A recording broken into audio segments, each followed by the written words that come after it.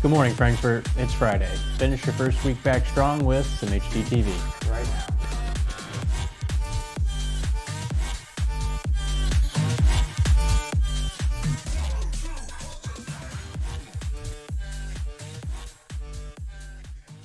Please stand.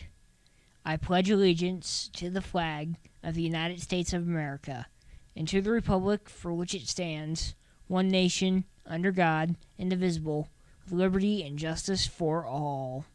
My name is Nick Kinder. And I'm Richard Butcher. For lunch today, on lines 1 and 2, we'll be having taco scoops. Line 3 will be soup and salad bar featuring California blend. Line 4 will be pull apart pizza. And line 5 will be closed today. A happy birthday goes out to Logan Wills. Now here's Liz with the sports. Thanks, Nick. There's a lot to report on today, so let's get to it.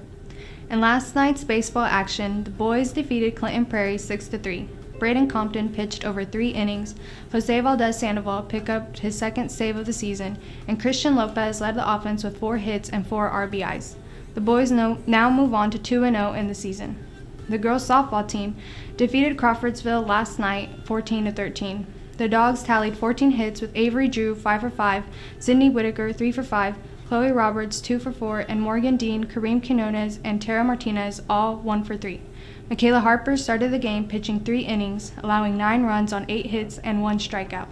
Avery Drew recorded the win for the Dogs, pitching four innings and allowing four runs on four hits. The Dogs are back in action on Tuesday at home against conference opponent Danville.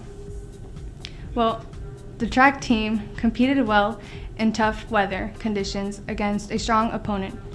Despite the conditions, quite a few personal records were set by our athletes. First place winners include Nayeli Alanis in the 100 and 300 meter hurdles, Hugo Hernandez in the 3200, Zeke Vandevenner in the shot put, and Kyle Earl in the discus. Their next meet is home on Tuesday versus Northmont and Tri West. That's it for sports. Now back to Nick and Richard. It's that time of the year again. The sixth annual Strides for Stacy 5K Color Run will be taking place on May 18th at 9 in the morning. If you just want to participate, the price of admission will be $10. If you want a Strides for Stacy shirt as well, the price will be pushed up to $20.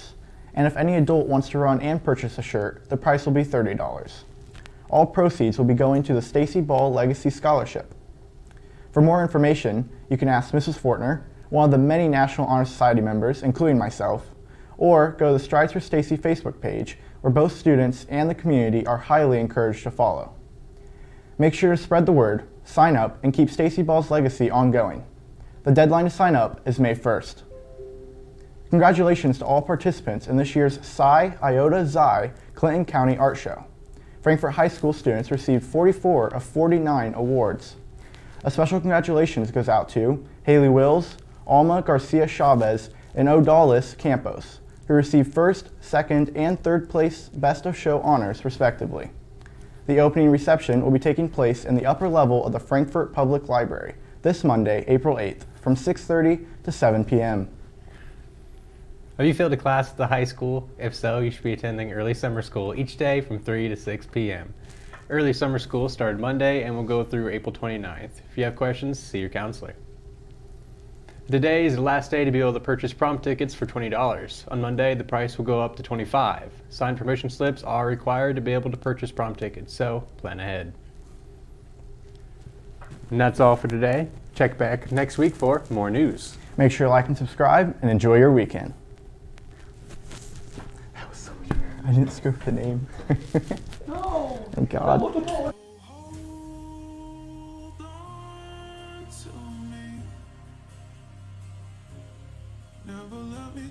Your eyes. Only got one night. Just put your trust in me. Give me everything. I need your love tonight. So, baby, please don't fight it. Put your trust in